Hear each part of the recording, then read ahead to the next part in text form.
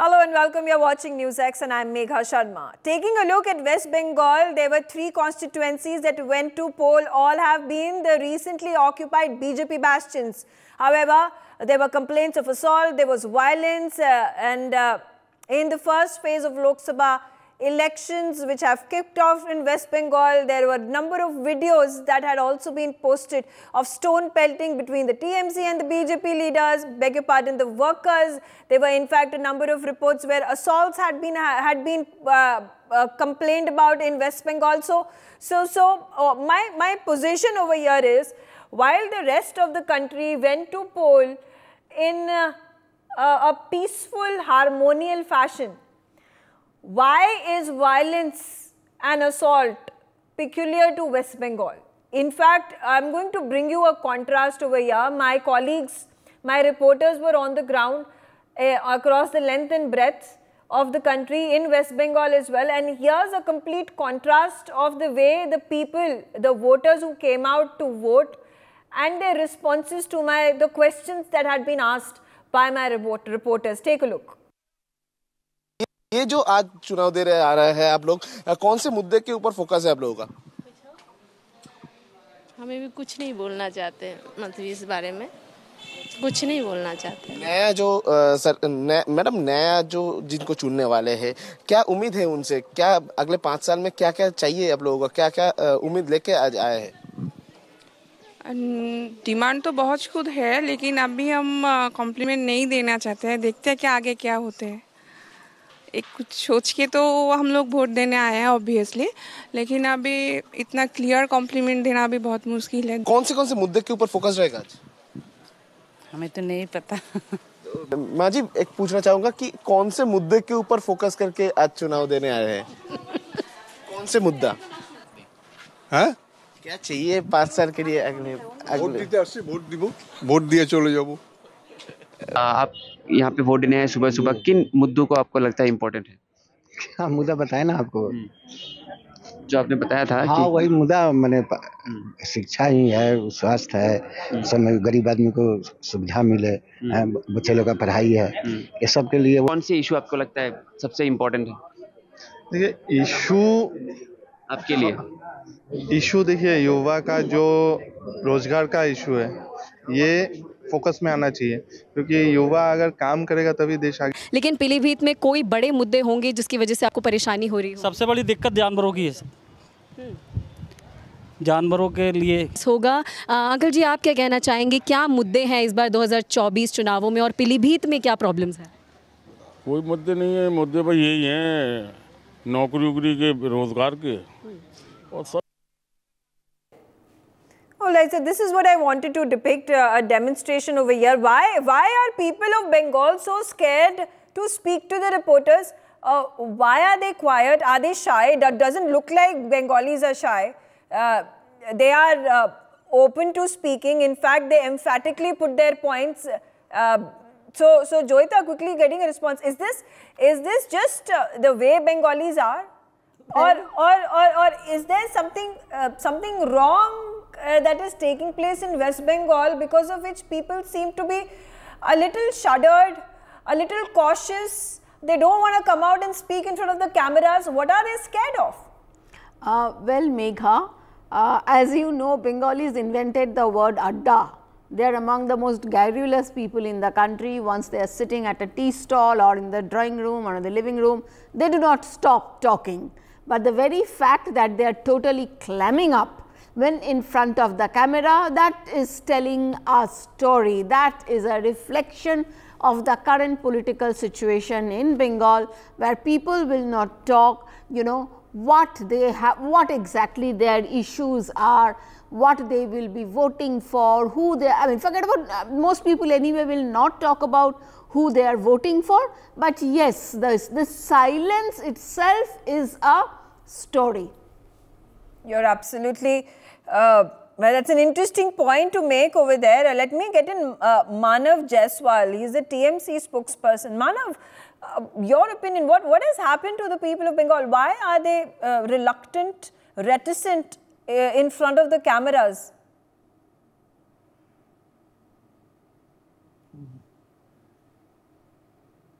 Manav, can you hear me? Okay, it looks like Manav from the TMC seems reluctant to speak to me as well. We'll try to get him uh, back on the telecast just a short while. Uh, uh, I'm guessing it's a it's an audio issue. Uh, Madhvi Agarwal, BJP spokesperson. Now, Madhvi, a response from you about you know violence. Uh, you know, largely a peaceful voting phase one that has happened across the country. There has been violence that has been reported here in the three constituencies of West Bengal, and an incident of violence that has reported in Manipur. So, Madhvi, what uh, the ground situation, accusations being levied by the TMC, by the BJP, each of you have attacked each other, stone pelting has happened, assaults have happened. But uh, how, how safe and secure is the voter? Because if they are not even willing to come out and speak, I, I, I am assuming, looking at them, uh, that they fear for their lives.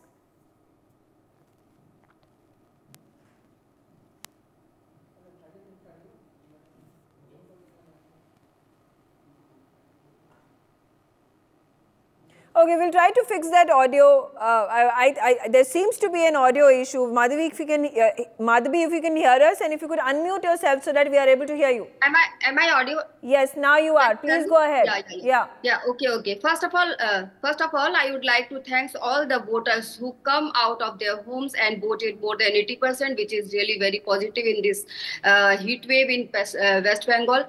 Uh, this positive atmosphere because uh, 80% uh, voting is uh, today is happening. So this positive atmosphere was the created because of the central force only i must say that. And uh, second thing i want to say uh, the massive turnout of the voter mean that the people of bengal have come together and launched a campaign to establish the bjp in west bengal. And uh, of course, violence uh, is uh, uh, some uh, has been uh, violence in some places, which is the hallmark of West Bengal. Everybody know that, and still people come out of their homes for the voting in large number. This uh, we can say that BJP is going to establish, and BJP will win more seats in West Bengal than last time. I must say that. Okay. And, okay. And uh, Ma- definitely. Yeah, and, Ma- uh, Manav, can you hear me now? If we can unmute Manav and quickly uh, understand from him. Manav, if you, were paying attention to the uh, uh, debate that we have had and my panelists who have spoken, and, and the question I continue to raise, I don't know if you saw the video or at least heard it, where we are, we are asking people, uh, what are the issues that you are going to vote for? Are you voting for change? What are the reasons that you feel dissatisfied or satisfied with the current government? And there was no answer whatsoever. Well, I, I couldn't follow that uh, that end of yours, but nevertheless, I was listening to Madhavi ji. Uh, first of all, I would co- like to congratulate every citizen of the country who has voted.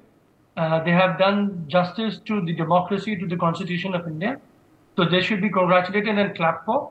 Uh, and on top of it, I would like to congratulate every woman. Basically, uh, today you could see that there have been massive women, you know, voters which have, who have come out and they have voted in Bengal. You know, every woman who has come out and voted in Bengal, they have spoken about Lakshmi Bhandar, they have spoken about Didi, the way, the grid that she's been fighting on.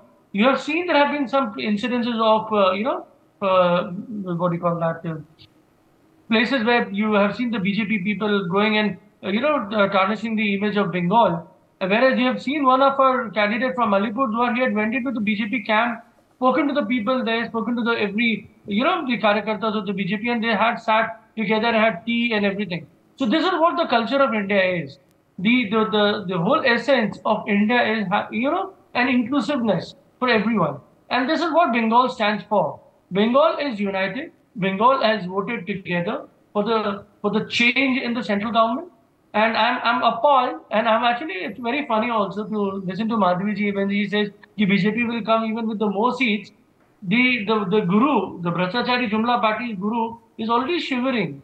Today we are already bringing up the, the three consecutive, uh, you know, Bijoy Michil we call it. It's, it's basically a rally of win. The win of democracy, win for the constitution, win for the people of Bengal. In Alipurduar, in Jalpaiguri, as well as in Cooch Behar, the candidates are going to be doing the uh, Bijoy Michil, which is the, you know, rally for win, along with Okay, fair enough. peace fair enough. Uh, That's your point of view. That is the TMC point of view. But Manav, my question over here is that largely, you know, there the election, the voting has happened very peacefully today in the rest of the country. Why is Bengal violent? No, see, I'll tell you very honestly, you know, BJP, which is the turncoat of the CPIM and the most of the people, this is how they've been doing. They want to tarnish the image of Bengal. And this is what has happened. You know, the people, the, our Karyakartas have been hit. We have already uh, cleared with the uh, election commission. Election commission has changed a lot of officers. Today, I don't know, today there were five, six instances where there was assault, stone pelting that was happening. And uh, mind you, this was not just the BJP, there were the TMC workers also involved. In fact, Congress No, no, has no, come out and alleged that there were there were TMC workers who I need to attacked their leaders also. See, what has happened in recent times, the election commission, since the model code of conduct has come into place, election commission has changed and, you know, transferred a lot of local offices. Now, in that is what had happened. BJP had got a high end. You know, they, they are creating this in the, in the, in the uh, face of TMC, or probably in the face of the CPIM. They would not face the public directly. They would not do it directly. They would do via channel. They're making, they're So, paying but money. why, why are they for, if if you're saying it is the BJP's handiwork, why is BJP doing this only in West Bengal? Why is it not doing in Kerala or Tamil See, we all- Nadu or in other opposition ruled states? See, see, today, eventually, you know what has happened? Bengal has become the uh, Kohinoor of India. The, the, the ruler, the Jamidars, they want to conquer Bengal and put that to throne, uh, put that uh, diamond into their throne. Mind you, the, the, the contribution of the of the of the of Tamil Nadu uh, to the national GDP is much much much higher than no, no, no. than You're West Bengal. Megha. Than it is West not Bengal. the national GDP. It is about the narrative which um, Prime Minister Modi wants to create for the rest of the country to rule the country. You have to understand that the whole narrative is very big. Bengal being a diamond is not because of the uh, be- benefit that is bringing to the GDP or to the addition. You know, I, I don't I don't take your argument on face value that it is only the BJP and the other political parties in the opposition that are tarnishing the TMC. Uh, there is violence that has happened. This is not the first time. This happens repeatedly. This has been happening for, for since the time that I have been in journalism and I have been witnessing this. So, so this, See, I'm- this can't, born here, Megha, this can't, this can't be, this can't be a, this is not a one-off incident. And, and it's I'm sorry if I don't believe that you say that it is only it is only the opposition parties which are doing it. I have with me also on the telecast Swati Chandrasekhar. She is the Congress spokesperson. Swati, good to have you on the telecast. And what's what's your opinion? I want to understand from you: Are the people of West Bengal fearful of their lives that they don't want to come out and speak to the media? You're talking about people coming out and speaking to the media. I think you must actually see No, those they are not speaking. They are not who have- speaking. They are not speaking. They are not even. They are not even. They don't want to to talk. who have come out and voted. If if it was if the situation was so fearful, if people were in such a bad shape, then voting percentage, I think you have to observe that instead of just commenting that uh, there has been riots, there has been uh, uh, uh, you know during elections there there are massacres that happened. I think I understand. I understand. Uh, many times this has been uh, the situation uh, in uh, a few of the eastern states uh, and also tribal states in India. But nevertheless, both the state government and I think we have to actually congratulate both the state government and central forces who actually paved the way for a very good voting here in Bengal rather than actually making this an issue. Okay, all right. Uh, also, understanding from you, Swati, about about the violence that continues to be uh, the highlight of every election that takes place in West Bengal. Uh, can this situation be curtailed? Also, keeping in mind that if voters are coming out in large numbers, what does this? What? How can it be understood as? Are voters voting for change?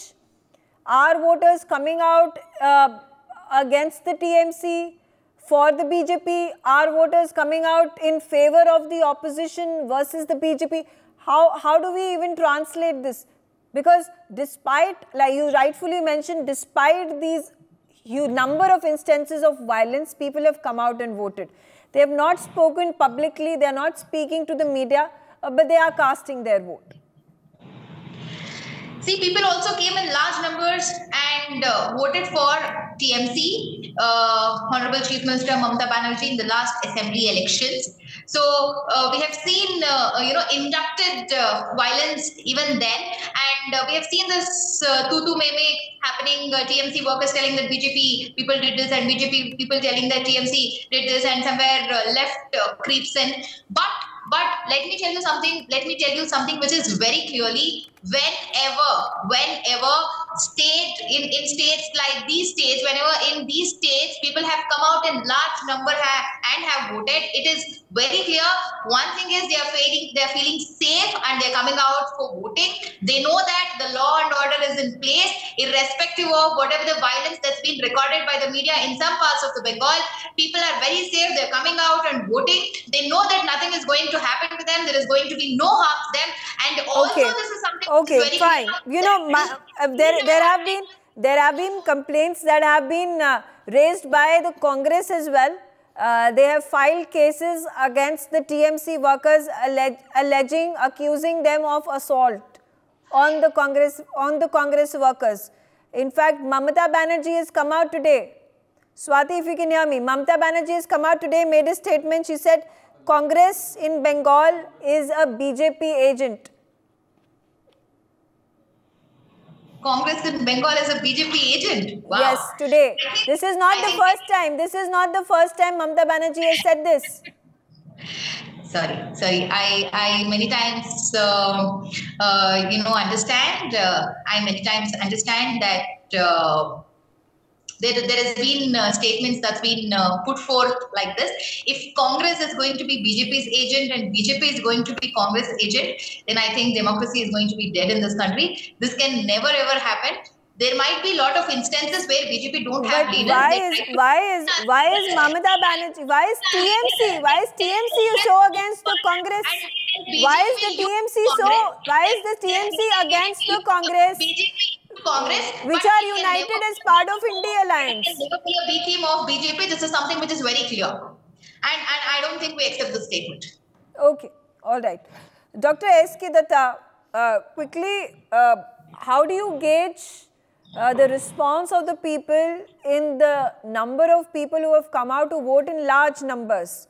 And uh, I think Bengal is the place, the three constituencies where the number of voters who have come out and voted is the largest across all the states versus the violence that has been witnessed, that has been the trademark of West Bengal politics and elections. Well, uh, Megha, uh, I have been listening to all the panelists, and let me come to the whole issue in a very clear cut way itself, and I'll speak to the point only. The stoic silence of the voters in Bengal and the stoic eyes of the voters in Bengal speaks volumes, the reality, and speaks volumes as to what is the reality and how fearful and dreaded the reality is. I was listening to my friend from TMC, Manas Jaiswal, saying that everything is so honky dory and so good. And uh, it is the same kind of rhetoric which they had given in 2019. So, the same kind of rhetoric which they had been saying that TMC would be sweeping the polls in Bengal, would be winning 42 seats. The reality was something else, where there was an undercurrent of Chup Chap Kamal Chap, and that Chup Chap Kamal Chap legacy is continuing in Bengal, this time in a much bigger way. You were asking me as to why people are not speaking. Do you uh, do you expect them to speak and know the reality as to what will happen with them and with their dear ones? The moment they open up their mouth, they will be lynched, they will be killed, and they will be silenced forever. This is the stoic reality of Bengal, and no Okay. one can run away from this reality. Okay. You know, like Manav, just give me five seconds more, please. Manav Jaiswal was speaking about the good things being done by the TMC government, and TMC government has performed so well. Had it been so, then the Calcutta High Court would not have been blind in its observation. Had it been so, And if I buy the argument Manav Jaiswal, then I would say that the Human Rights uh, Commission is blind, the SC/ST Commission is blind, the Calcutta High Court is blind, the Honorable Governor is blind, Okay. the Election Commission is blind. Only TMC has got eight compound eyes. And that's the reason they state that they have done so much, so good and so much. Just wait for the 3rd Okay. of June and Okay. see the reality for Uh, yourself. Manav, would, would you quickly want to make a comment before I wrap this up? Not to, not would not like to be personal, you know, but Mr. Datta is far away from the city of Bengal, from the state of Bengal. He has got no idea. BJP has got no karyakarta, sir. The booth was khali in Alipurdwar. You are not aware of it. And अब की बार कमल छाप नहीं है अब की बार 200 पार नहीं होगा you see the 200 पार वाला theory is gonna come into play last time in 2019 these people have blocked the country in the name of the army in the name of the death soldiers and in the name of the martyrs so this is what the country has come up to. This Modi ji, this Amit Shah ji, the Bharatiya Jumla party is working very hard. The kind of extortion they have done in so many years is open to public today. They can go and do a lot of press conferences like, uh, you know, the press conference happens with ANI, you know, but like but a lollipop. Manav, I mean, I don't understand the equation between the TMC, which is an India Alliance member, and the Congress. Like, if if Mamata Banerjee can come out and make statements that the Congress is an agent of the BJP, uh, how is India Alliance going to work? I'll tell you, Megha, in Bengal, you have got a very elite leader of Congress, Mr. Adhir Ranjan Chaudhary. He has been a president, he has been the Lok Sabha, you know, opposition leader, and what he has been doing, he is only looking up to one jurisdiction of his, himself. He is only one man, one leader in Bengal. The rest of the city, rest of the uh, state is lacking their leadership. They want someone else to take the, you know, uh, Banton ahead. They want someone to take the new Mashal. But unfortunately, I don't know what what is happening with Congress. But yeah, we are Okay. supporting the India Alliance from every. You are corner. We- supporting India Alliance, but you are not supporting the Congress. You are not supporting the CPIM. I don't know how this works. Quickly, Joita, uh, you know, a, a closing comment from you in a situation such as this. Uh, again, we are predicting how how do we forecast who's going to win the election? BJP was able to make great inroads last time around in assembly elections as well. But uh, what's the mood of the people today on the ground? Well, first of all, I think uh, in, more about, you know, instead of predicting what will happen on 4th June, I think we should be more mindful of the fact that whether people have been able to come out and vote, why that West Bengal should see, witness so much violence in every election, how effective the central forces have been, you know, in spite of what the voting percentage is always good, of course, but then I do not want to get into the details and the speculation about what all is said about the voting percentage. But the thing is, you see, why should we witness scenes of violence? It's as simple as that. In that way, you know, what is the EC also doing? I am also going to raise a question about what exactly the EC has been able to do. Why are there so many allegations of rigging and booth capturing coming?